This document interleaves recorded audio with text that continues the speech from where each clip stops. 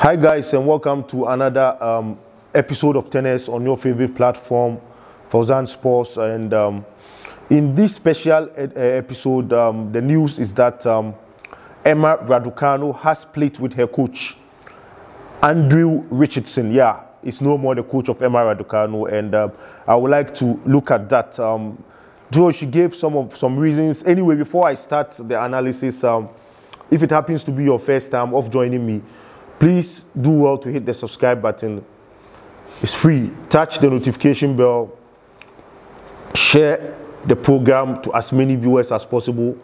Smash the like button if you enjoy the presentation, and then comment to agree or disagree with my analysis in the comment box down below. Down below, yeah. Uh, yeah, the news is um, that some a few hours ago, Emma Raducanu just split with her coach, and it's no more. Andrew Richardson is no more the coach of Emma Raducanu, and um, I'm quoting some um, sources um, that I chanced upon um, uh, to give further explanation. But um, in a nutshell, I will look at that the source anymore later. But the issue is Emma Raducanu's um, a quick rise from uh, the 300th rank, 300th uh, seed to 150th seed after the Wimbledon, and now from 150th to the 22nd seed, she's um, setting that she needs to move to another level and will be competing at the highest level and be winning trophies. So, meaning what it means is um, if she wants to maintain the current level, no disrespect to Andy Richardson, but she thinks um, Andy Richardson um, has not gotten the necessary experience to take her that far though she's uh, appreciate the level of work is done um, uh, at, uh, at, her, at her end. She, she's, she appreciate the level of work is done over, over the couple of months he's been with her. And, but she wants to take the game and can sustain her best at the highest level. And so she will want to get an experienced coach, though no experienced coach has been mentioned as at now. But um, she will be, she said she will take her time carefully to be on the lookout for a better coach who to take, take her to the next level, to be competing at the highest level. She doesn't want to descend, just like, you know, most of these um, female tennis players, as I keep on saying on my uh, episodes regarding female singles tennis competition, when they win, they drop down. So Emma Raducanu doesn't want to suffer the same fate of uh, Naomi Osaka, uh, Sloane Stevens, um, Simona Halep, Ashley Barty, some cases. Though Ashley Barty has been consistent, that's why she's number one you know, Bianca Andreescu, Inga Swiatek, controversial Inga Swiatek, yeah. So, so many of them, when they win the trophy, then they decide they go low, they descend low. That is what what she uh, doesn't want to uh, suffer the same fate, and want to sustain her highest uh, level of career success. Yeah, let me go to the source, um, Sky Sports Online, and uh, it says U.S. Open champion um, Emma Raducanu, US Open champion, split from coach Andrew Richardson. Yeah, I'm quoting some aspect of the um, news uh, uh, online post there. With Emma Raducanu, that's what I'm quoting here. I feel like at this stage in my career and playing the top players in the world, I realized I really need someone right now that has had that WTA tour experience at the highest at the higher levels, which means that I'm looking for someone who has been at the, that level and knows what it takes so you see, one of the, that's unquote. So Richard, Richardson, let me read about that, that coach. Richardson previously coached the 18-year-old at Bromley Tennis Center and was chosen to accompany Raducanu on her US trip because of their familiarity with one another. Yeah, yeah. So in this case, as the report indicates, he was chosen to accompany her, though he's coach her at uh, that uh, Bromley Tennis Center. Um, neither could have imagined where the partnership will lead and despite the remarkable success it brought, Raducanu has decided she needs a coach with a WTA tour pedigree. Yeah, as I told you. Speaking after a homecoming event held by the Lawn Tennis Association at the National Tennis Center, the teenager said, and I quote, where I saw where I was at after Wimbledon, I was ranked around 200 in the world, and at the time I thought I, Andrew will be a great coach to trial. So we went to the States, but never did I even dream of winning the US Open. And having the run I did, and now I'm ranked 22nd in the world, which is pretty crazy to me. Yeah, I think Emma Raducanu is still uh, has still not come to terms with the fact that she's a champion. Still surprises her.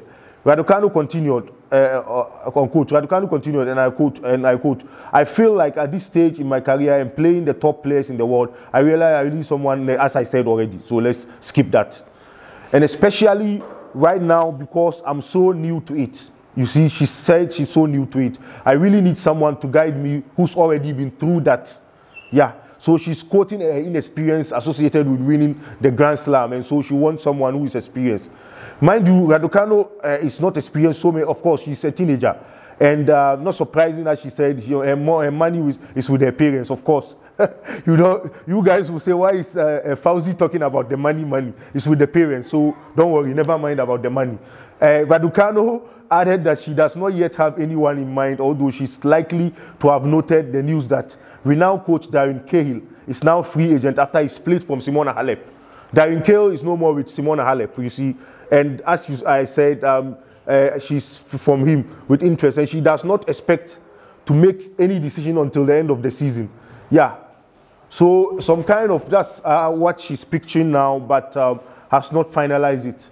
A willingness to work with a number of different coaches has already been a notable feature of Raducanu's fledgling career, and she has shown no hesitation in ending a partnership if she feels that is the right move. Quickly parting from Nigel Sears after Wimbledon, yeah.